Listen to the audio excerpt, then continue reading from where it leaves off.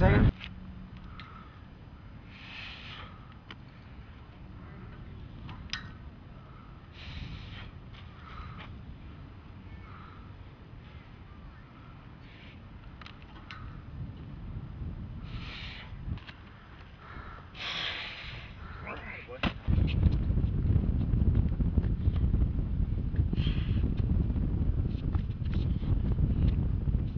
Not.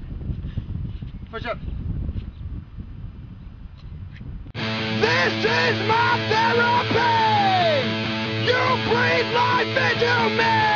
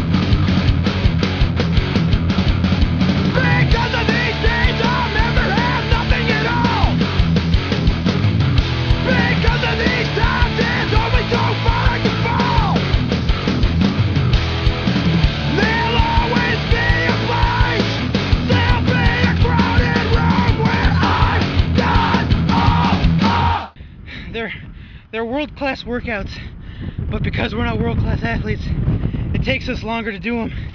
Anyway, you were saying? It takes us longer to do the workouts, and we have to wait longer in between workouts before we recover.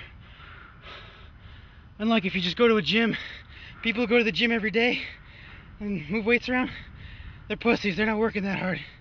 They can. They don't have to take a break. These are so hard. You have to. You have no choice. You're like in the Olympics. Long